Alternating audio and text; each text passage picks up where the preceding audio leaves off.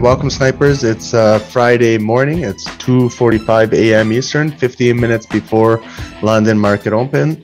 It's uh, Friday, June 10th. We're gonna get started with uh, Nasdaq possible sell below the demand area, and maybe we'll push and have a new daily low. Okay, so here's US 30. Maybe we'll look for something below this demand area.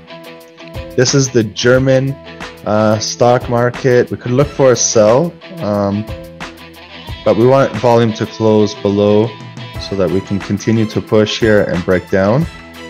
Okay, so this is a nice little three bar that consolidated and could break down right now. Joshua, 13 pips. Excellent, excellent.